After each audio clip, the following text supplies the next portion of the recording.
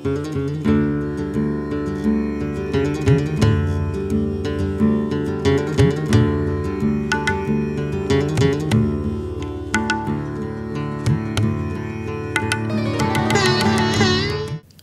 मैं हूँ कमल श्रीमाली। आपका स्वागत, अभिनंदन मेरे इस प्रोग्राम खेल ग्रहों का में। आज हम बात करें राशिफल 2019 में वृष राशि की हेल्थ पोजिशन कैसी रहेगी। सबसे बड़ा सुख है शारीरिक सुख। अतः शरीर का सुख। अगर शरीर स्वस्थ है तो आप हर चीज़ का भोग भोग सकते हैं। आप अच्छी विदेश यात्राएँ कर सकते हैं। आप अपने जीवन की सारी सुख सुविधाओं का आनंद ले सकते हैं। आप ग्रस्त सुख का आनंद ले सकते हैं। बच्चों के साथ में खेल सकते हैं। लेकिन यदि शरीर ही स्वस्थ नहीं है तो न तो आप पैसा कमा सकते हैं, न आप सामाजिक सरोकार रख सकते हैं, न आप सारे सुख भोग सकते हैं। तो सबसे पहली स्थिति कि वृक्ष राशि के लिए राशि से एट हाउस में शनि है, वर्ष के प्रारंभ में ही। तो 26 अक्टूबर 2017 से 24 जनवरी 2020 तक आपको शनि का ढैया रहेगा। और शनि स्पेशली पाँवों पर चोट देने का काम करता है, घुटनों की चोट देने का काम करता है या सिर पर चोट देता है और ऐसी स्थिति कर देता है कि आप जीवन भर कोई न कोई आपके लिए निशानी मिल जाए या स्कार का निशान आपको लग जाए, स्कार हो जाए। अब इस समय शनि अपनी थर्ड दस्ती से कुंडली में टेंथ हाउस को देखेगा। कुंडली में सेकंड हाउस को देखेगा और आपकी राशि कुंडली में फिफ्थ हाउस को देखेगा।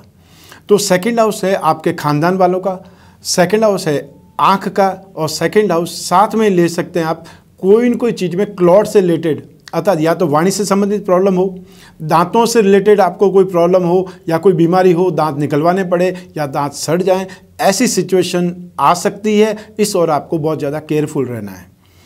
शनि कुंडली में फिफ्थ हाउस को देखता है। फिफ्थ हाउस पर शनि की पाप दृष्टि होने से व्यक्ति को ब्लड प्रेशर से रिलेटेड प्रॉब्लम हो सकती है, उसको लकवे से रिलेटेड प्रॉब्लम हो सकती है, उसको लीवर से रिलेटेड प्रॉब्लम हो सकती है और शनि का ढैया या शनि की साढ़े साथी व्यक्ति को एडिक्शन की तरफ़ ले जाती है कोई न कोई नशे पते की आदत लगवा देती है और जब भी आप कोई नशा करेंगे तो लीवर से रिलेटेड प्रॉब्लम आपको ज़रूर परेशान करेगी।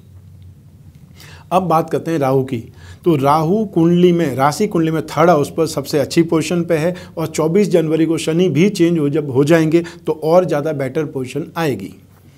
2019 में जो मेरी बहनें हैं, संतान से रिलेटेड प्लान करना चाहती है, संतान से रिलेटेड कोई न कोई उनके दिमाग में कामना है, वो कामना पूरी होने के योग हैं। लेकिन 2019 में स्वास्थ्य को लेकर के ज़्यादा केयरफुल भी रहना पड़ेगा। बृहस्पति बहुत अच्छी पोजीशन में है फाइनेंशियली भी सिचुएशन ठीक रहेगी, जीवन साथी का आपको प्यार भी मिलेगा। उसके बावजूद भी यदि आप संतान पाना चाहते हैं तो थोड़ा सा मेडिकली अपने आप को कंट्रोल में रखिएगा। आप समय समय पर जाँच करवाते रहिए।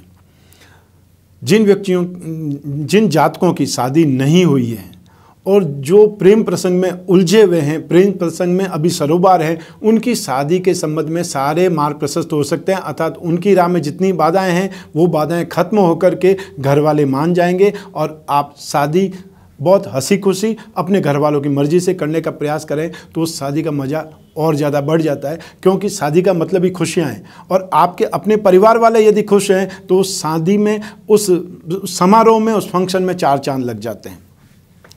2019 में आपको स्पेशली अपने घुटनों पर और कोई न कोई चोट या दुर्घटना से रिलेटेड ज़्यादा केयरफुल रहना है, ज़्यादा सावधान रहना है। इतनी बात मैं आपको बता सकता हूँ कि कुछ विशेष समय आपको ज़्यादा केयरफुल रहना है, वो टाइम डेट आप नोट कर लीजिए। जो वृष राशि के जातक हैं, वे ट्वेंटी सेकेंड अक्टूबर 19 से 26 नवंबर 19 तक बहुत ज़्यादा केयरफुल रहेंगे। ये समय आपको कोई चोट, दुर्घटना या हेल्थ से रिलेटेड बहुत बड़ी प्रॉब्लम दे सकता है। इस वर्ष 2019 में 5 नवंबर 2019 तक आपको अपनी संतान के हेल्थ पर भी ज़्यादा केयरफुल रहना पड़ेगा, उन पर भी ज़्यादा ध्यान रखना पड़ेगा। तो ये थी हेल्थ पोजिशन। हम समय समय पर आपको, आपकी राशि से संबंधित और भी जो जानकारियाँ हैं, और भी जो आपको नुस्खे हैं, या और भी केयरफुल रहने के तरीके हैं आपके जीवन को बहुत अच्छा बनाने के लिए, उज्जवल बनाने के लिए जो भी तरीके हो सकेंगे, वो हम आप तक पहुंचाते रहेंगे। तब तक स्वस्थ रहिए प्रसन्न रहिए अपना ख्याल रखिए। नमस्कार।